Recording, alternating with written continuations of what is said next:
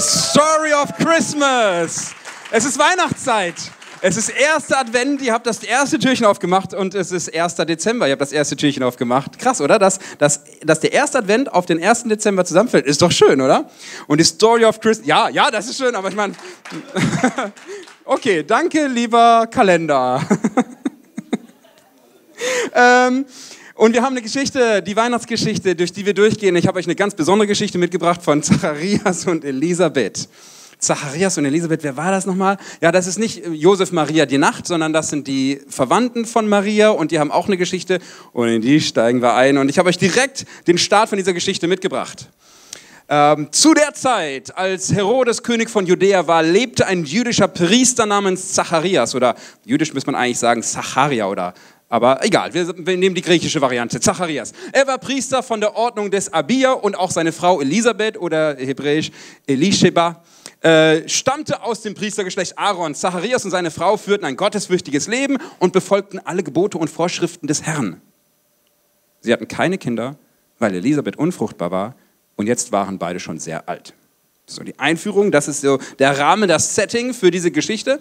Ähm, und wenn du die Geschichte anschaust, und vielleicht äh, merkst du es bei dir auch, es hat unglaublich viel mit unserem Leben zu tun. Merkst du, oder? Nee, okay, wir kommen der Sache auf die Spur. Äh, würdest du diesem Satz zustimmen, diese Welt ist aus den Fugen geraten? Diese Welt ist aus den Fugen geraten. Ja? Okay, äh, tausch dich mal kurz mit deinem Sitznachbar aus. Du kannst ihm zustimmen, ablehnen, Einschränkungen oder wie auch immer. Diese Welt ist aus den Fugen geraten. Stimmst du dem zu, ja oder nein? Los geht's. Tauscht euch miteinander aus. Ihr seid in der Kirche, aber ihr müsst miteinander reden. Okay, wer ist für Ja, diese Welt ist aus den Fugen geraten? Gibt es? Gibt es Handzeichen? Wer sagt für Nein? Eigentlich nicht. Eigentlich ist alles Come on, Leute. Okay, ja, so Mitte, Mitte, halbe, halbe. Ja, okay, danke. Ich habe euch eine kleine Aufteilung oder eine Liste mal mitgebracht. Denn neulich hat jemand für Thanksgiving, die Amis haben Thanksgiving gefeiert, großartig, haben gesagt, Moment mal, es gibt eine ganze Menge, wofür wir dankbar sein können. Zum Beispiel Hunger und extreme Armut nehmen ab, Zugang von sauberem Trinkwasser nimmt zu, Alphabetisierung nimmt zu in den letzten 50 bis 70 Jahren. Ne? Zahl der Kriege extrem gesunken, der Kriegstoten ich meine, die letzten 70 Jahre waren kriegerisch, vielleicht die letzten 100 nochmal. Millionen von Leuten, es ist weniger geworden. Feinstaub in der Luft nimmt ab. Ja, immer weniger krasse Kraftwerke. Ähm, Mehr Tierarten werden geschützt und die Kindersterblichkeit ist gesunken. Aber du kannst natürlich sagen, naja toll, ich meine, Hunger und Armut nehmen ab, aber die Lebensmittel werden immer noch sehr ungleich verteilt. Also die Welt ist trotzdem aus dem Funk geraten. Und Zugang zu sauberem Trinkwasser, ja, aber Chemie, Chemie, und Pestizide im Trinkwasser nehmen zu. Ähm, oder zumindest sind sie nicht weg. Sie sind nicht weg. Alphabetisierung nimmt zu, aber die Bildungsgerechtigkeit ist noch lange nicht erreicht. Noch lange nicht erreicht. Zahl der Kriegstoten sind gesunken, aber Terror- und Drohnenopfer steigen. Auch wenn es insgesamt nicht mehr Millionen sind, aber Feinstaub in der Luft nimmt ab, okay, aber Klimagase in der Atmosphäre nehmen zu. Mehr Tiere werden geschützt, ja, aber Regenwald wird immer schneller vernichtet. Unsere Kindersterblichkeit ist gesunken, ja, aber Bevölkerungswachstum beschleunigt sich. Nicht sehr klug. Ich habe mir wirklich einen sehr, sehr, sehr, sehr miese Petrigen, so, der, also der, der Typ war echt krass, der sagt, weißt du, der Mensch ist ein Stück Scheiße. Und er hat wirklich die Überzeugung, Atomexplosion statt Bevölkerungsexplosion der sagte, die Welt ist so sehr aus dem Fugen geraten, lass sie uns einfach abreißen. Lass sie uns einfach alles abreißen. Und, die, und, und, vielleicht ist es nicht so krass, aber diese Geschichte von Zacharias und Elisabeth, und ich weiß nicht, wo du dich selber hier für deine Welt, wo du gerade so im großen Maßstab das einordnest, vielleicht denkst du irgendwie so, keine Ahnung, also politisch gesehen, wow, ist aus dem Fugen geraten. Es scheint nicht mehr die Stabilität zu haben wie in den letzten 15, 20 Jahren. Wo sind die Volksparteien geblieben? Oder religiös gesehen, ich meine, es wird immer extremer und, und, und irgendwie, wo sind Leute, die einfach gesunde Religiosität leben? So ohne extrem zu sein. Vielleicht ist da das für dich was auseinander, aus, aus, aus, aus den Fugen geraten. Und für Elisabeth und Zacharias ist ihre Welt aus den Fugen geraten. Im großen Maßstab und im kleinen. Im großen Maßstab, ich meine, es beginnt ja nur schon mit dieser Satz, das war zu der Zeit, als König Herodes über Israel herrschte. Herodes der Mann von Frau Rodes.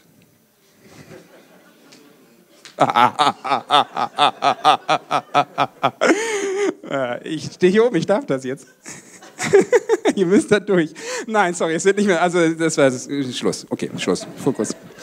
Ähm, der Typ ist zwar der König von Judäa und Galiläa und so weiter und Samaria und alles das, aber er ist überhaupt kein Jude. Er gehört gar nicht zu dem Volk. Er ist einer von den Hasmonäern. Er gehört eigentlich zu den Edomitern. Das ist ein Feindesvolk. Und er hat sich bei den Römern eingeschleimt und sie haben ihm dieses Königreich gegeben. Und er denkt sich, ich werde der großartigste König überhaupt und hat einen wahnsinnigen Bauplan, also so, so, so einen Bauirrsinn hat er. Der baut alles Mögliche, sich einen riesengroßen Palast und dann den Tempel baut er neu auf, ein riesig großer Tempel. Der erste ist zerstört worden, der zweite von Nehemiah und Esra ist abgerissen worden und noch ein größerer Tempel hingebaut, der Tempel des Herodes. Und, und dann macht er riesige Sachen, und, und, und, aber, aber er quetscht das ganze Volk mit Steuern aus. So sehr, dass er sogar zweimal die Steuern ausfallen lassen muss, weil das Volk überhaupt keine Steuern mehr hat. Und die, die die Weihnachtsgeschichte wissen, dann will Augustus auch nochmal wissen, wie viel Steuern kann ich holen. Und deswegen kommt die Zählung. Das Volk ist völlig verarmt. Normalerweise sind so sieben bis acht Prozent der Bevölkerungsschicht sind ganz, ganz, ganz furchtbar arme Bettler. Und dann gibt es eine große Mittel und dann gibt es eine kleine Oberschicht. Und zu der Zeit, wo Herodes König ist, wo Zacharias und Elisabeth leben, gibt es eine sehr reiche, verfressene, fette Oberschicht. Ich weiß, man sagt sich in der Kirche, aber es wäre saufen, ficken, Fernsehen gucken. Das ist, was die machen den ganzen Tag. Er hat fünf Frauen. Die eine Frau gefällt ihm so sehr, aber der andere ist noch mit, ihm, mit ihr verheiratet. Dann befiehlt er, dass er sich scheiden lassen muss, damit er die Frau heiraten kann. Kriegt er Kinder von denen, dann setzt er sie ein als Erben. Dann merkt er, oh, die haben aber, die werden vielleicht zu mächtig. Dann lässt er die Erben umbringen, eine Kinder, und dann setzt er andere wieder ein und sein Kind. Er traut niemandem und hat furchtbare Angst, dass irgendwann ein König kommt, der ihm sein Königreich streitig machen könnte. Und deswegen muss er groß sein und mächtig sein. Und er hat was riesig Großes gebaut. Und dann, und dann befiehlt er aber auch, dass wenn er stirbt, so und so viele Gefangene alle getötet werden müssen, damit die Menschen, wenn sein Tod ist und die anderen auch alle sterben, damit sie weinen um ihn. Die Logik geht nicht auf, aber so ist er. Politisch ist die Welt aus den Fugen geraten. 30 Prozent Unterschicht. 25 bis 30 Prozent der Menschen sind bettelarm, haben nichts, wovon sie leben können. Und geistlich, religiös gesehen ist diese Welt extrem aus den Fugen geraten. Ja, es gibt diesen tollen Tempel, aber das hat noch nicht mal ein Israeli gebaut.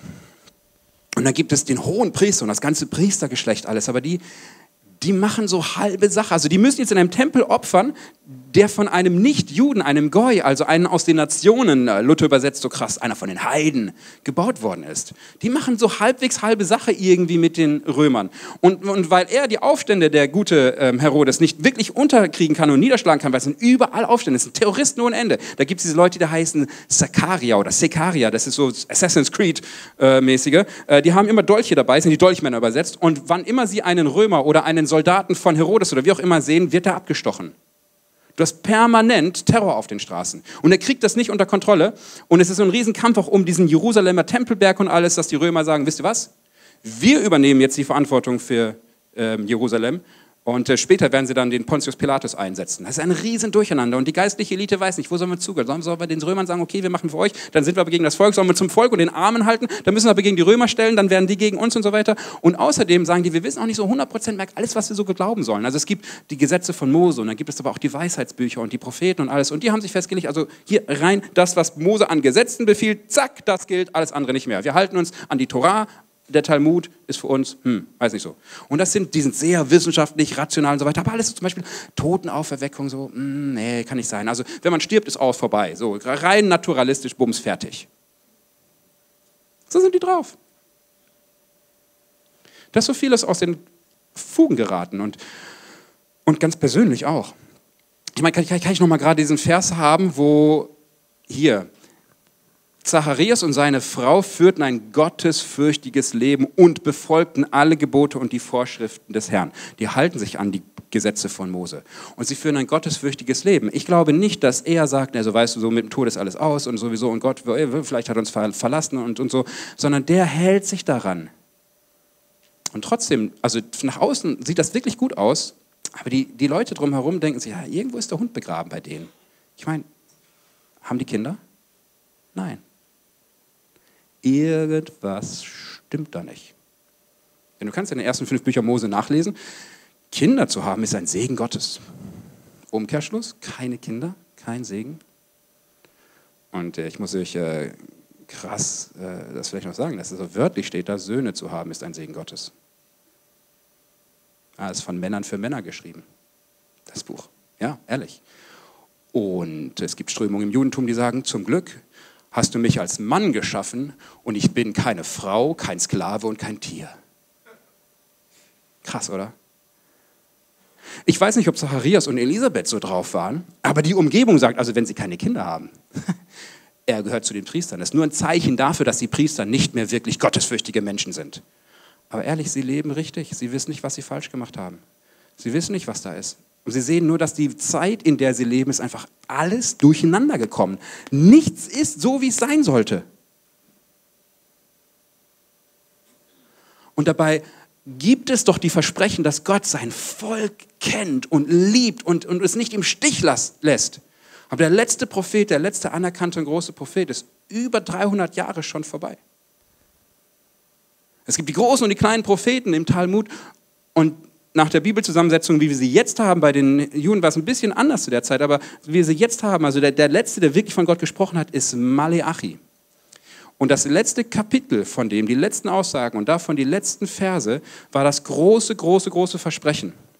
Siehe, bevor der große und schreckliche Tag des Herrn kommt, sende ich einen Propheten, sende ich euch den Propheten Elia. Er wird das Herz der Väter ihren Kindern und die Herzen der Kinder ihren Vätern zuwenden. Auch dort steht original wieder die Herzen der Söhne ihren Vätern und so weiter. Aber Kinder, okay, ist jetzt so übersetzt worden.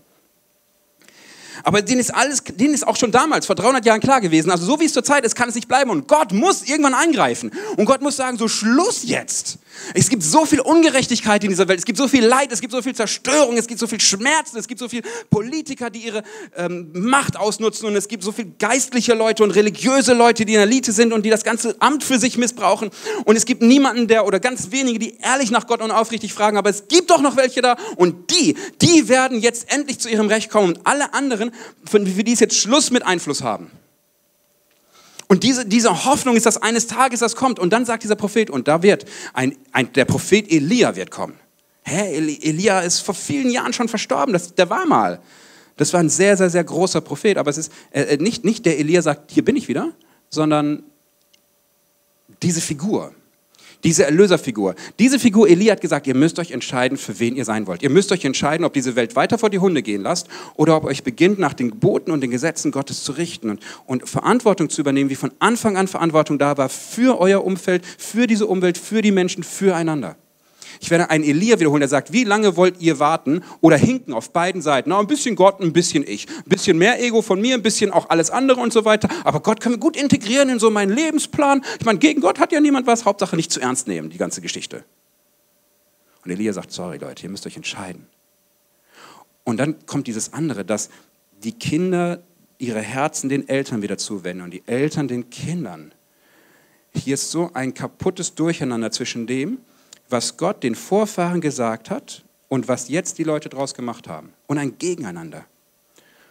Und ich weiß nicht, ob es dir so geht, aber wenn du quasi religiös aufgewachsen bist, ist die Wahrscheinlichkeit hoch, dass du die Art und Weise deines, deiner Eltern oder Großeltern zu glauben, dass du die schlecht findest.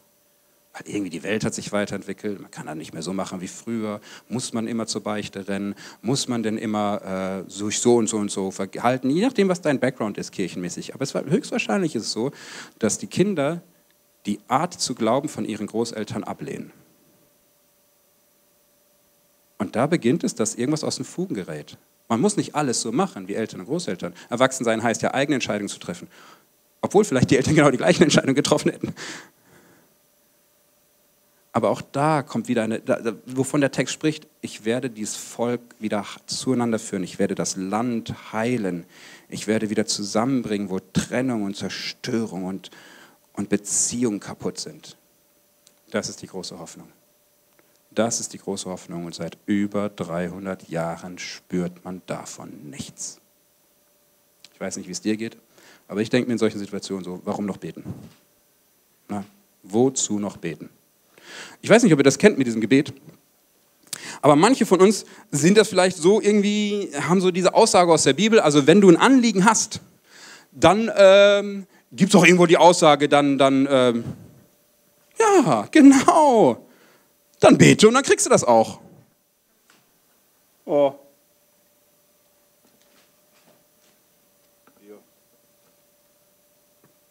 Also steht das nicht irgendwo in der Bibel, äh, wenn ihr betet, kriegt ihr die Sachen. Und ich so, cool. Also in dem Fall, Gott, ich hätte gerne ein bisschen mehr Gesundheit. Ich bin so ein bisschen erkältet. Ah, ist nur eins gekommen. Schade. Naja, egal. Mm. Ist das Crunch? Auf jeden Fall ist es mit Schokolade. Und das ist mit Erdnuss. Oh, Gott ist ein guter Gott, ne? Und dann bete ich nochmal und sage, also irgendwie, äh, jetzt mal was Größeres. Ich finde irgendwie, ähm, Klima ist Katastrophe gerade. Gott, kannst du was mit Richtung Klima machen? Wow, drei. Also viel schaffe ich gar nicht. Komme aber als erstes an den Pastor. Und dann an den Leiter von der Kinderkirche.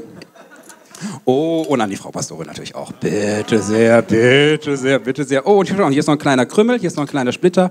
Könnt ihr sehen, der ist noch für mich. Mm. Oh, das ist doch großartig. Also, wenn das so ist, Gott, ich hätte jetzt mal eine Bitte. Ich, ich, ich fände es schön, wenn meine Ehe wieder so wird wie früher. Weißt du, so früher, wo wir verliebt waren.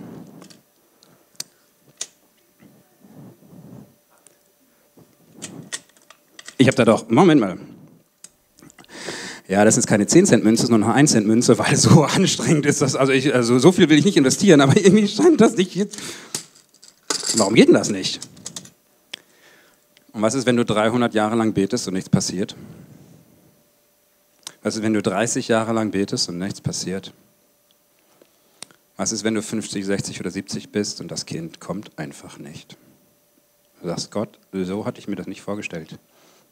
Schau mal, Gott, wir sind ein Priestergeschlecht. Wenn ich keinen Sohn kriege, hört meine priesterliche Linie mit mir auf. Das kann ja nicht in deinem Sinn sein, oder? Und außerdem hast du uns doch versprochen, dass es uns gut gehen wird, oder nicht? Ehrlich gesagt, ich habe überhaupt keinen Bock darauf, weiter hier irgendeine Sache zu machen. Wenn das nicht funktioniert, warum funktioniert das denn nicht? Ich kann hier drehen, wie ich will. Das geht nicht. Das hat doch funktioniert. Warum geht das denn nicht weiter? Das ist die Geschichte von Zacharias und Elisabeth. Und Zacharias bedeutet, Gott erinnert sich. Und Elisabeth, Elisabeths Name heißt Gottes Versprechen. Gott erinnert sich an sein Versprechen. Gott erinnert sich an sein Versprechen. Und die Geschichte geht folgendermaßen weiter. Eines Tages, als Zacharias seinen Dienst im Tempel verrichtete, weil er in dieser Woche seine, weil in dieser Woche seine Ordnung an der Reihe war, wurde er nach priesterlichem Brauch und durch das Los dazu ausgewählt, das Heiligtum zu betreten, um das Rauchopfer darzubringen. Währenddessen standen draußen eine große Menschenmenge und betete. Das ist krass, was hier passiert. Das ist absolut außergewöhnlich. Die Schriften des Alten Testaments, also die Schriften des jüdischen Volkes sagen, dass das möglicherweise nur ein einziges Mal im Leben eines Priesters passiert. Wie gesagt, er ist nicht der Hohepriester, er geht nicht bis ins Allerheiligste, aber er darf in den Tempel. Und er darf in diesem Gebäude jetzt ein Rauchopfer darbringen. Und ich möchte mal zeigen, wie krass das ist. Hier ist das Rauchopfer. Und das ist die außergewöhnliche Sache. Ungefähr 18.000 Priester sind aus dem Stamm Levi zu der Zeit von Zacharias lebend. 52, 42 Familien sind in 24 Ordnungen aufgeteilt und es sind 750 Priester pro Ordnung. Also er ist mit anderen 750 Priestern jetzt gerade an der Reihe und die machen immer zwei Wochen pro Jahr. Und das Losverfahren sagt, einer von denen ist heute dran, 14 werden gezogen von 750 Priestern und die können drankommen und nächstes Jahr kommen wieder alle 750 und wieder 14 werden gezogen für dieses Brandopfer. Das heißt, du hast eine 1,8-prozentige Chance. Zacharias wird gezogen, jetzt bist du dran. Wahrscheinlich war das das erste Mal in seinem Leben dass er in das Heiligtum reinging mit dieser Schale voller Weihrauch und dann die Weihrauchkörner auf die brennenden Kohlen oder glühenden Kohlen drauf tut. Und da passiert Folgendes, wie man ja schon ahnen kann, dass da irgendwas nicht stimmt. Irgendwas passiert da in dem Moment. Er hört die Stimme des Engels. Auf einmal ist jemand in diesem Raum drin und spricht zu ihm folgende Worte. Hab keine Angst, Zacharias. Gott hat deine Gebete erhört. Moment mal, Moment mal. Diese hier? Nein, es geht um ganz andere Gebete. Das ist nicht das Bild für Gebete in der Bibel. Deine Frau Elisabeth wird einen Sohn, oder deine Frau Elisabeth wird dir einen Sohn schenken. Den sollst du Johannes nennen. Oder wortwörtlich Johannan, was bedeutet, Gott ist gnädig. Aber es geht weiter. Pass mal auf. Es ist nicht nur seine eigene Not. Du wirst überglücklich sein bei seiner Geburt und viele Menschen werden sich mit dir freuen, denn er wird in den Augen des Herrn groß sein. Jetzt, ich mache etwas in deinem Leben, aber das hat eine viel größere Dimension. Er wird kein Wein und andere berauschende Getränke anrühren und schon von, vor seiner Geburt mit dem Heiligen Geist erfüllt werden. Wow, wow, wow. Was der Engel jetzt sagt, ist, hier passiert was. Hier passiert was richtig krasses, was absolut übernatürliches, was total göttliches. Nämlich, jetzt kommt es. Und er wird viele Israeliten dazu bringen, sich wieder dem Herrn, ihrem Gott, zuzuwenden. Er wird ein Mann mit dem Geist und der Kraft des Propheten Elia sein der dem Herrn vorausgeht und das Volk auf seine Ankunft vorbereiten wird, auf die Ankunft, dass Gott selber zu seinem Volk kommt. Er wird die Herzen der Väter ihren Kindern zuwenden und die Ungehorsamen dazu bewegen, sich der göttlichen Weisheit zu öffnen.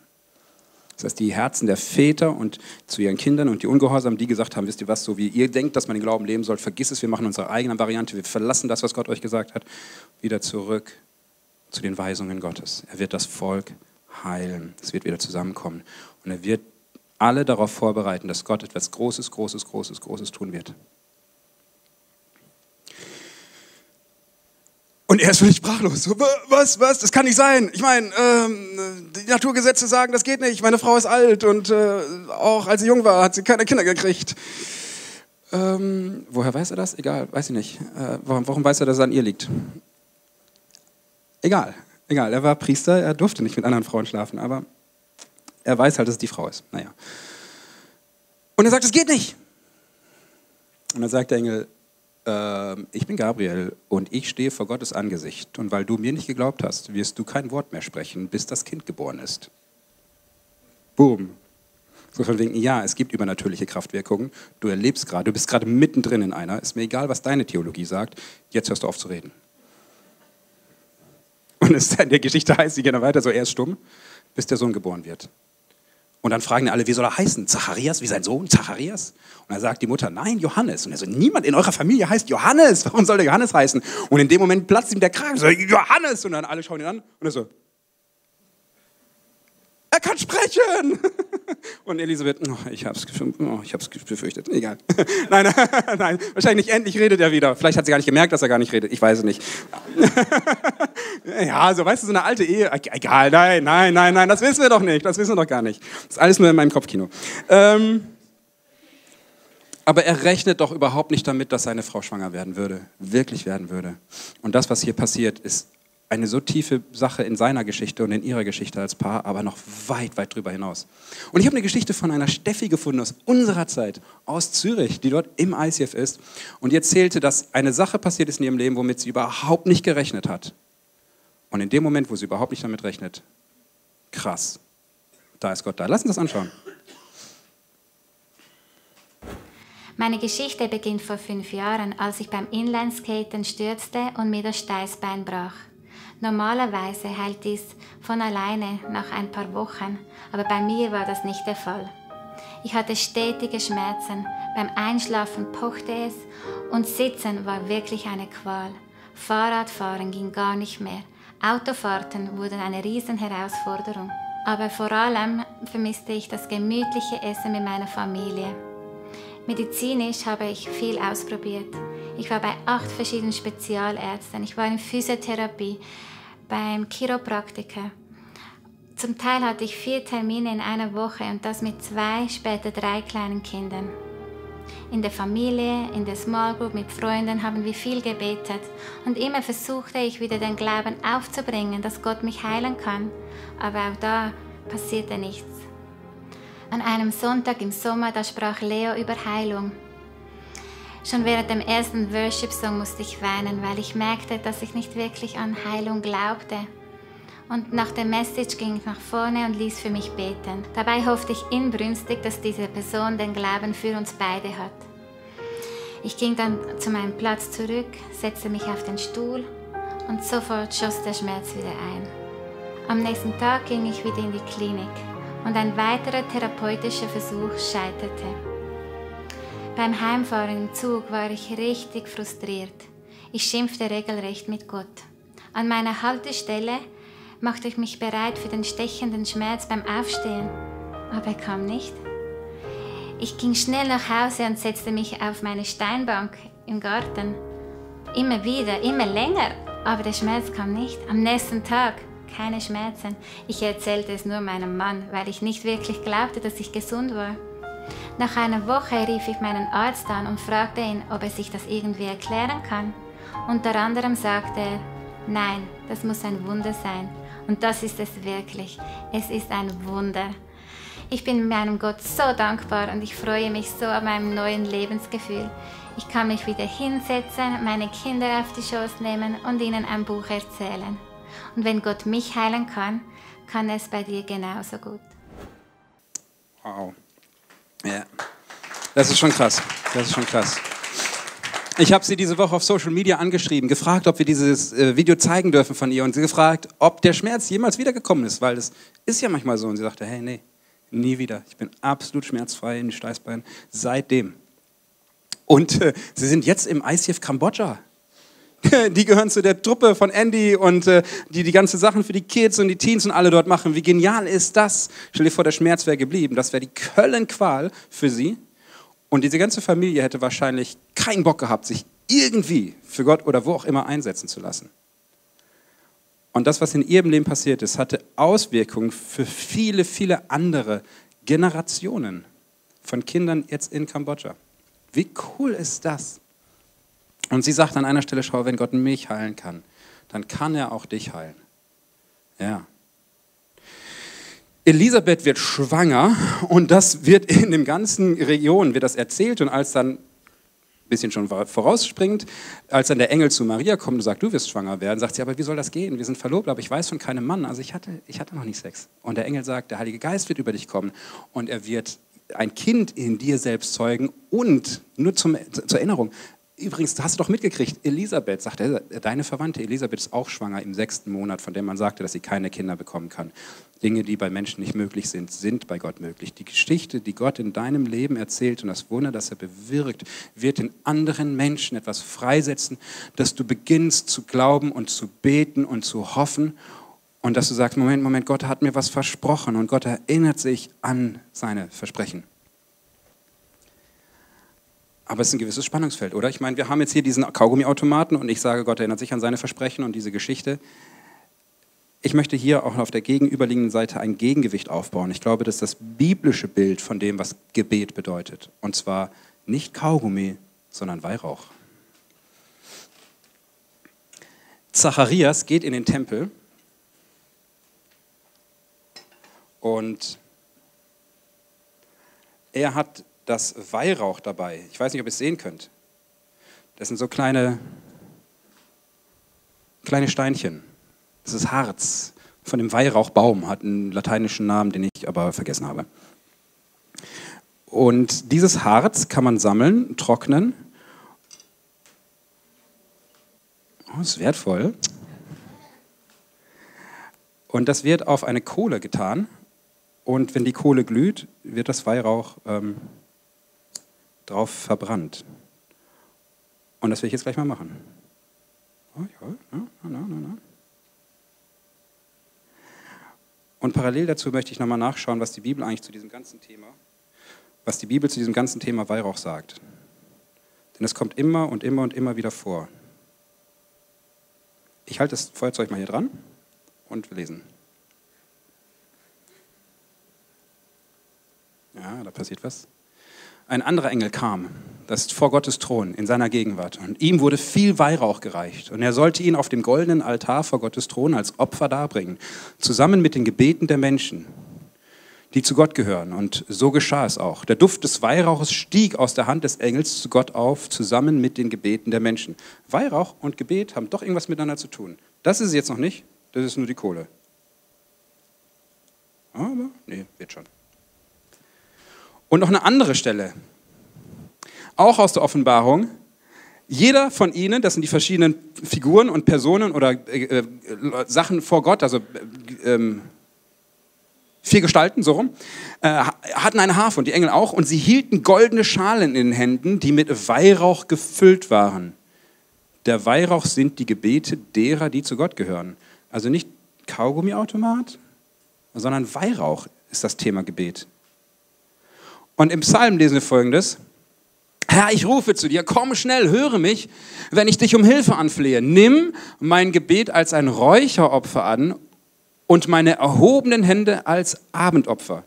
Das Räucheropfer, das Weihrauchopfer und das Abendopfer im Tempel, das, was jetzt Zacharias macht, morgens geht man hin, legt das drauf, abends geht man hin und legt das Weihrauch auf die Kohlen drauf. Morgens und abends gibt es ein Räucheropfer im Tempel. Und das ist das Gebet und es sind die erhobenen Hände. Wenn wir hier Worship machen, rennen wir nicht alle zu einem göttlichen Kaugummiautomaten und versuchen möglichst vor dem anderen noch ans Drehen zu kommen. Wenn wir hier Worship machen, wie gerade eben, wo wir alle zusammen gesungen haben und die Band ausgestiegen ist, sogar die, die Sängerinnen hier ausgestiegen sind und wir gesungen haben, das war nach biblischem Bild Weihrauch. Das war Worship. Das war Gott anbeten. Das war Gebet. Das ist 300 Jahre lang passiert und passiert. Und Gott, warum antwortest du nicht? Aber wir werden weiterhin unsere Hände zu dir erheben. Wir werden weiterhin unsere Gebete dir geben. Wir werden weiterhin dich anbeten und worshipen. Und dieses Harz beginnt zu schmelzen, es blubbert unten ein bisschen und es raucht hoch. Und ich weiß nicht, ob es stark genug ist, aber ich vermute, dass es irgendwann den ganzen Raum erfüllen wird und du es riechen wirst.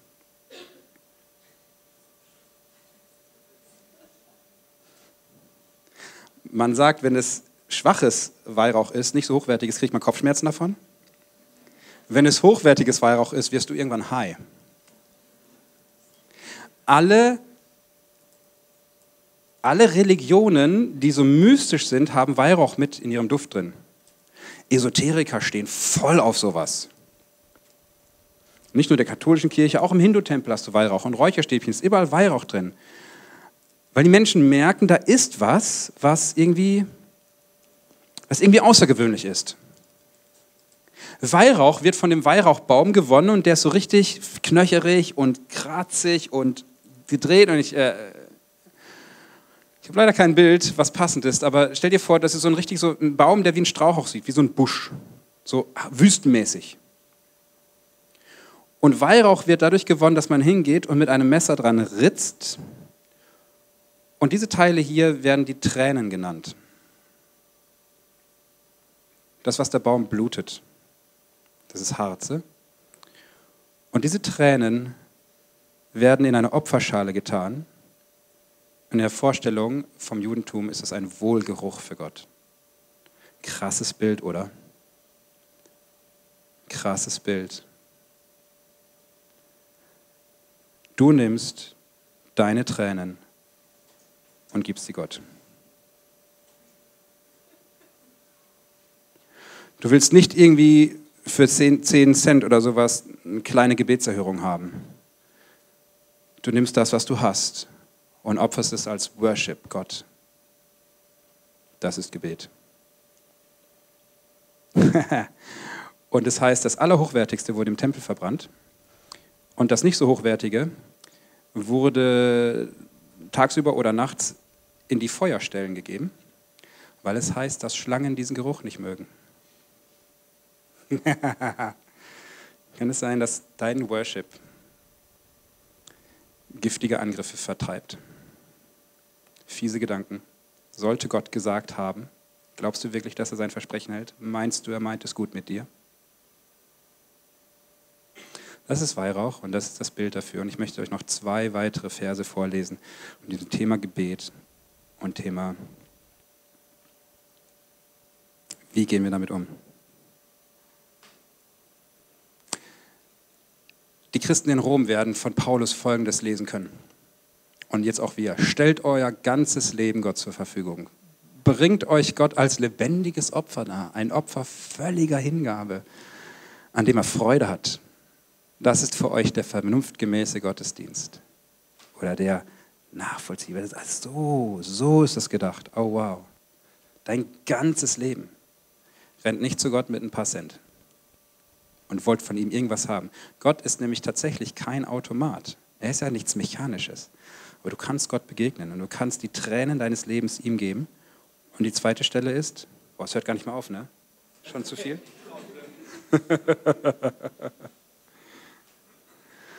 und Paulus schreibt an die Christen in Philippi, macht euch um nichts Sorgen. Wendet euch vielmehr in jeder Lage mit Bitten und Flehen und voll Dankbarkeit an Gott und bringt eure Anliegen vor ihm. Ne? Alles, was ihr habt, bringt es zu Gott. Bringt es zu Gott. Mit Bitten und mit Flehen und eure Tränen bringt es zu Gott. Und auch mit Dankbarkeit. Gott, dank, Gott danke, dass, dass du trotzdem da bist, aber bringt es ihm und heißt es dann, dann, schau, dann, dann wird der Friede Gottes, der weit über alles Verstehen hinausreicht, über eure Gedanken wachen und euch in eurem Innersten bewahren, euch, die ihr mit Jesus Christus verbunden seid. Dann wird der Frieden Gottes, der höher als jede menschliche Vernunft, euer Herz und Sinne, schreibt Paulus, bewahren in Christus Jesus. Schau mal, Gott verspricht nie, dass wenn du was einwirfst, es einfach kommt. Aber er sagt, wenn du dich ganz gibst, dann wird mein Frieden bei dir einkehren. Auch der Frieden darüber, welches Timing das Richtige ist.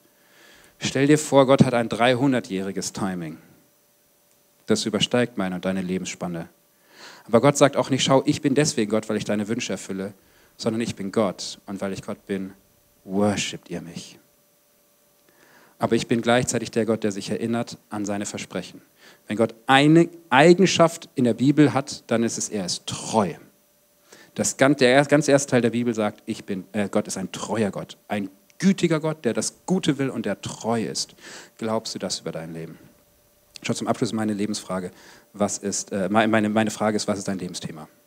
Was ist dein Lebensthema? Zacharias und Elisabeth konnten keine Kinder kriegen. Vielleicht suchst du einen Partner.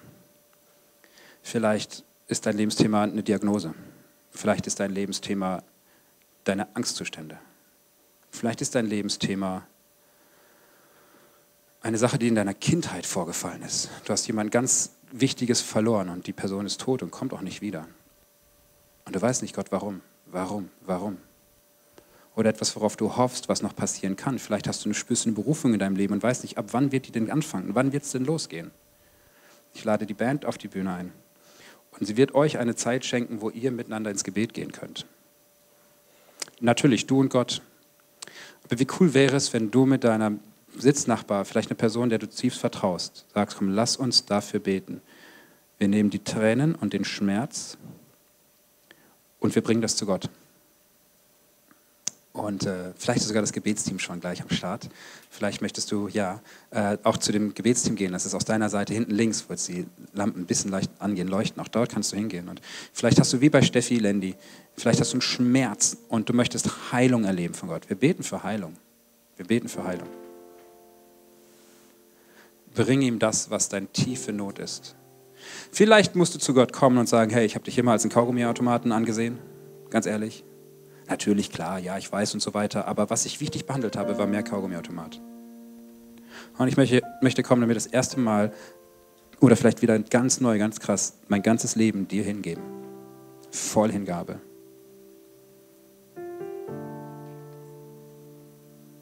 Und dann wird die Band irgendwann anfangen zu singen.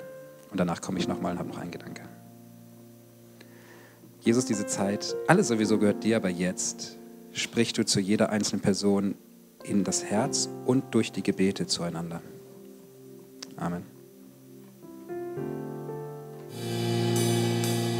Und ich glaube, genau das ist das Geheimnis von Gebet, dass du etwas hast und sagst, okay, das ist so sehr mein Wunsch oder das ist so sehr mein Schmerz und ich gebe dir das Gott, ich gebe dir alles und ich glaube daran, dass du ein Gott bist, der Wunder tun kann, der es nach wie vor kann und es nach wie vor tun wird. Und in der Zeit, bis es nicht passiert, was machen wir? All unsere Bitten mit Flehen und voller Dank zu Gott bringen.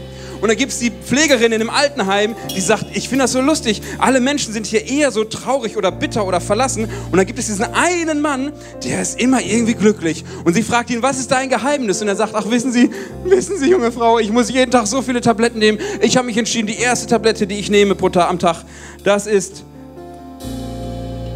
das ist meine Zufriedenheit.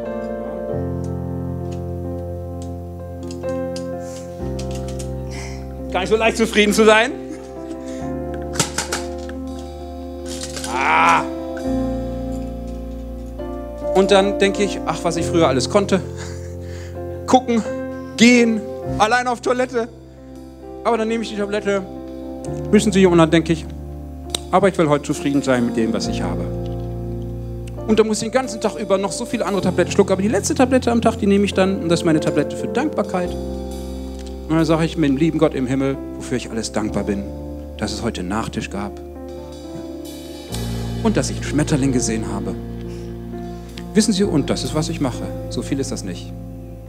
Nee, ist tatsächlich nicht viel. Es ist vielleicht wirklich nur eine 10-Cent-Entscheidung. All unsere Bitten und Flehen bei Gott voller Dank geben. Und dann sagen, hey, das, was ich habe, dafür bin ich dankbar und der Friede Gottes wird dein Herz bewahren in der Zeit, bis das Wunder kommt. Und wenn es nie kommt, Gott ist Gott, den wir anbeten und das ist Gebet. Und ich, ich freue mich so sehr, mit euch zusammen auf diesem Weg unterwegs zu sein. Es ist eine Reise. Es ist ein Weg. Und manchmal kommt eine Weggabelung und du weißt nicht, wohin es geht. Frag ihn. Und manchmal kommt eine Kurve und du weißt nicht, was kommt. Er ist bei dir. Und Gebet heißt, du gibst alles in seine Hand. Und lass uns gemeinsam als Kirche das machen. Lass uns in diese Weihnachts- und Adventszeit reingehen mit den Themen, die ihr habt. Und die wir haben. Schau mal, wir sind eine Kirche, die ehrlich ist, wo wir Masken ablegen und sagen, das sind Dinge, die sind krass in meinem Leben. Aber ich gebe die dir, Gott, und ich gebe die dir. Und in der Zwischenzeit werde ich zufrieden und dankbar aus deiner Hand leben. Und deswegen lasst uns alle, wenn ihr steht, lasst uns aufstehen. Und lasst uns diesen Song zum Abschluss singen. Wir sind mit ihm unterwegs. Es ist eine Reise, eine Journey. Kommt.